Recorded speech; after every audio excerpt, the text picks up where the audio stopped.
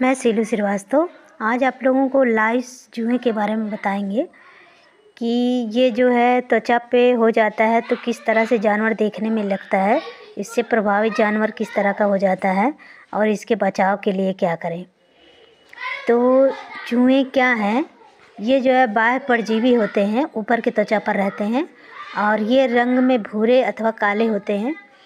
प्रभावित जानवर के प्रकार के अनुसार ही इसका आकार, आकृति तथा रंग बदलता रहता है और ये त्वचा पर या बालों के अंदर रहते हैं। ये चमड़ा खाकर और खून चूस कर ही जीवित रहते हैं ये जुएँ और ये बालों में सफ़ेद अंडे देते हैं। ये कमज़ोर और पतले जानवर में अधिक होते हैं, सामान्यतः अधिक प्रभावित करते हैं। अच्छा अब देखते हैं कि कौन से जो है, कौन से जानवर जुएँ से प्रभावित होते हैं। तो इससे प्रभावित होता है गाय, भैंस, भेड़, बकरी, घोड़ा, सुअर, मुर्गा, मुर्गी और जो है, सभी जानवर जुएँ से प्रभावित होते हैं। और अब देखिए, हम इसको कैसे पहचानेंगे कि ये जो है, जानवर में है तो जानवर कैसा देखने में लगता है। तो इससे प्रभावित जानवर अक्सर दुबले पतले होते हैं।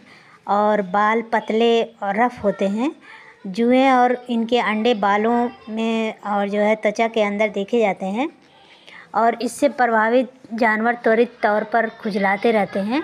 अब देखते हैं कि इस, ये अगर हो जाता है तो इससे बचाव के लिए क्या करें। तो बहुत सारे जानवरों को एक शेड में रखें और भीड़ भाड़ से बचाएँ। भेड़ को साफ़ रखें तथा उसमें धूप तथा ताज़ी हवा की पूरी व्यवस्था रखें।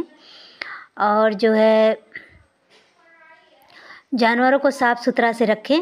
अब इसके उपचार के लिए क्या करें? बोटॉक्स दवा आती है, उसको ले लें।